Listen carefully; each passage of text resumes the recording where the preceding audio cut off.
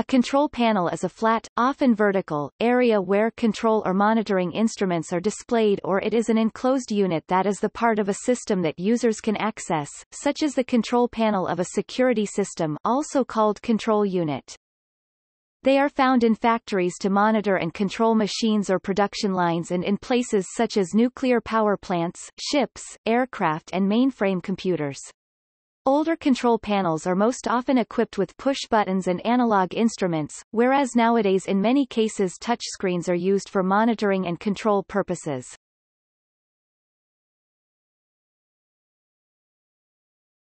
Topic. Gallery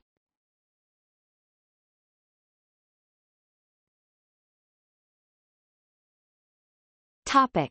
Flat panels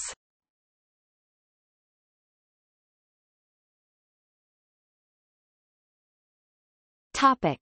Enclosed control unit